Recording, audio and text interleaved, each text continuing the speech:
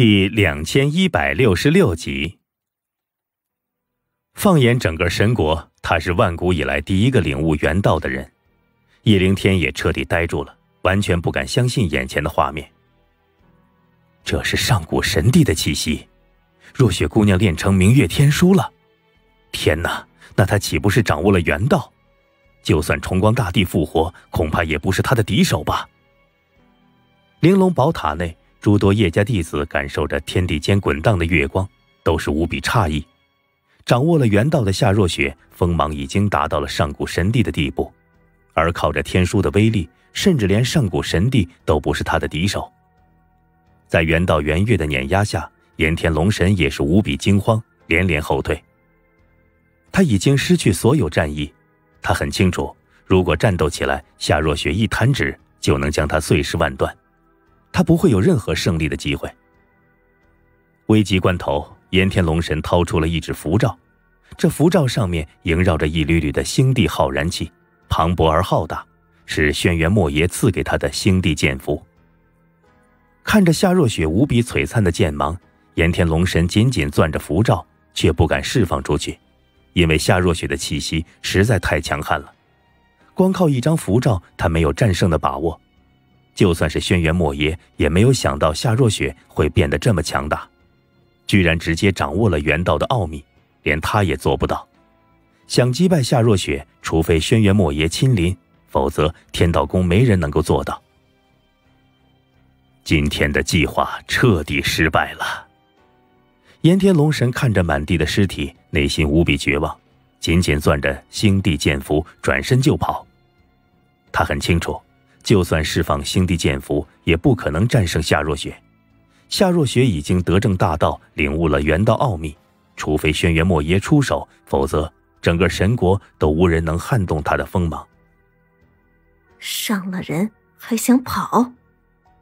夏若雪冷哼一声，纤手一挥，圆月如轮破空斩杀而出。如果被炎天龙神逃回天道宫，他练成明月天书的事情绝对要泄露出去。一旦被地渊殿知道，后果不堪设想。叶晨的敌人已经够多了，夏若雪不想因为自己再拖累叶晨，所以她绝对不能让炎天龙神活着离开。圆月宝轮边缘如锋刃，斩割空气，发出尖锐的声响，令人心胆俱裂。不好！见状，炎天龙神彻底慌了，没想到夏若雪出手速度这么快。这轮圆月宝轮几乎是顺杀而至，他压根不能抵挡。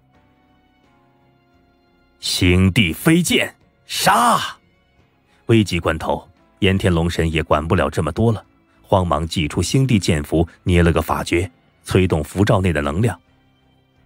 顿时，一缕缕浩荡的鸿蒙能量狂然的滚荡而出，化作了一把把飞剑，横空陈列着。无数的飞剑，足足有十万把之多。当空盘旋，每一把飞剑都萦绕着一缕缕的星帝光芒，气息非常凌厉。星帝浩然气，诸天神剑诀，若雪姑娘小心了！叶灵天看到这一幕，顿时一脸震愕。炎天龙神这张符罩蕴含了星帝浩然气和诸天神剑诀的气息，两者融合演化成了星帝飞剑。十万把飞剑盘旋苍穹。那昊天的剑气简直是要斩杀一切，剑气激荡之下，山河乾坤都在动摇。无妨，区区一道符咒伤不了我，除非轩辕墨邪亲临，否则天道宫内无人是我的敌手。夏若雪看着漫天的飞剑，却没有一点慌乱的模样，依然镇定而平静。她很清楚明月天书的威力，她尽得天书精髓，已经掌握了元道奥秘。实力大到无法想象的地步，除了轩辕莫邪，天道宫内已经没有人能够伤害他了。十万把星帝飞剑凶悍爆杀而出，直斩夏若雪。恐怖的剑气将夜空震荡成白昼，天地间尽是狂乱的剑光，风起云涌，乾坤动摇，画面非常壮观。逃！然而，炎天龙神释放出符咒后，却是狼狈逃跑，没有再战斗的意思。他非常清楚，夏若雪已经无敌了，区区一纸符咒，连他的头发都不可能伤到。元道的天威实在太过厉害，他只想依靠星帝剑符拖延时间，为自己争取逃跑的机会。逃回天道宫，向轩辕莫邪禀报，夏若雪已经得正大道，想抓住他，要么轩辕莫邪真身降临，要么请地渊殿出手，没有其他办法了。哼，想跑，能跑得了吗？夏若雪冷哼一声，纤手一挥，一片月光扫出，掠破虚空，落在炎天龙神的身上。炎天龙神发出一声惨叫，在月光的笼罩下。浑身剧烈疼痛，宛如遭到了针芒刀剑的绞割，非常痛苦。而此时，十万把星帝飞剑也杀到了夏若雪面前。夏若雪淡然自如，屈指一弹，弹出了一缕轮回星焰。下一刹，轮回星焰猛烈燃烧，化作了一片连绵天际的火海。一把把的星帝飞剑钻入轮回星焰火海里面，瞬间被烧成虚无，连一点痕迹都没有留下。什么？炎天龙神看着这一幕，当场吐血，不敢相信自己的眼睛。他虽然知道夏若雪领悟元道后已经无敌了，但他没想到夏若雪居然无敌到这个地步，足足十万把星帝飞剑居然全部葬身在他的火焰下。不可能！你的轮回星焰不是残火吗？怎么会这么厉害？炎天龙神不敢相信。轮回星焰的本源在女皇玄机月的手里，夏若雪掌握的只是一缕残火，但现在这缕残火却爆发出惊天的威力，瞬间葬灭了漫天的飞剑。哼，我的境界，岂是你能懂？夏若雪冷眼看着炎天龙神，他练成明月天书后，天地元气加深，连轮回星焰都蜕变了。这轮回星焰也沾染了道元的气息。杀伤力大大提升，燕天藏剑简直是轻而易举。雪姐姐，好厉害呀！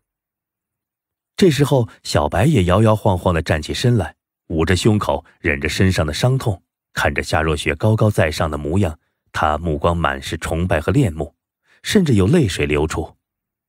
小白，没事吧？夏若雪看着他，心里却是一阵疼惜。小白为了保护他，被炎天龙神斩成了重伤，幸好血脉强横，总算是没死，还留有一口气。只要静心调养，还有恢复的机会。雪姐姐，我没事，你不用担心。小白脚步跌跌撞撞，朝着夏若雪的方向走去。夏若雪很是心疼，也朝着他跑去。好机会，这个小丫头倒是可以拿来当人质。炎天龙神看着小白柔弱的模样，双眼顿时露出了凶光。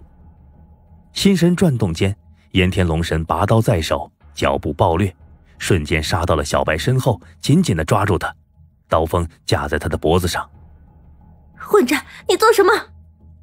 夏若雪看到这一幕，顿时吓得魂飞魄散，大声呵斥：“雪姐姐！”小白俏脸也是煞白。脖子上汗毛一根根竖起，头皮发麻。只要炎天龙神刀锋稍稍一压，他就要身首异处，香消玉殒。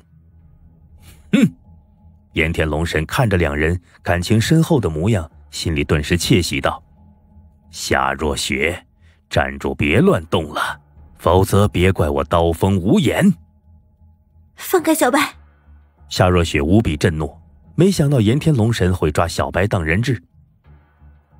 此时的炎天龙神身上伤口遍布，鲜血不断的流淌。他刚刚遭到夏若雪明月圆光的袭击，已经受了重伤，但他肉身强悍，就算重伤也能支撑住。何况小白的伤势比他还要严重。他控制着小白，小白毫无反抗之力。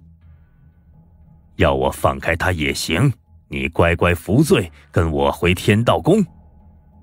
炎天龙神冷冷的看着夏若雪。一字一字道：“跟你回天道宫。”夏若雪娇躯一颤，一旦去了天道宫，恐怕是羊入虎口，她这辈子都不可能再出来了。没错，只要你肯跟我回去，我马上放人。炎天龙神紧了紧刀锋，小白脖子上出现了一道血痕。夏若雪咬了咬牙，死死的盯着炎天龙神，手掌缩在衣袖里，寻找着出手的机会。我警告你，最好不要乱动手，否则在你杀死我之前，我绝对能砍掉他的脑袋。炎天龙神杀气毕露，他虽然万万不是夏若雪的敌手，但他要在临死前斩杀小白，却是非常容易的事情。雪姐姐，小白眼圈通红，想牺牲自己撞刀寻死，但他气机被炎天龙神所制，却是浑身酸软，丝毫动弹不得。小白，夏若雪的娇躯颤抖着，当初玄机降临，小白为了守护她。不知道有多么的拼命，他绝对不能眼睁睁的看着小白被杀。叶灵天大哥，快杀了我，不要让雪姐姐难做！小白望向叶灵天，叫喊起来。闻言，叶灵天顿时震荡，握枪的手颤动着。现在的炎天龙神已经受了重伤，他要动手的话，炎天龙神是拦不住的。如果杀死小白，就能解决夏若雪的后顾之忧，也不会有被天道宫利用的危险。但问题是，他和小白相处了这么多天，也有了感情，哪里舍得下杀手？而且小白夺舍了太阴玉兔，得到上古大凶的躯壳，正是即将要逆天改命的时候，他更不敢动手了。店主，如果你在此，你会如何定夺？叶凌天恍惚之间想到了叶辰。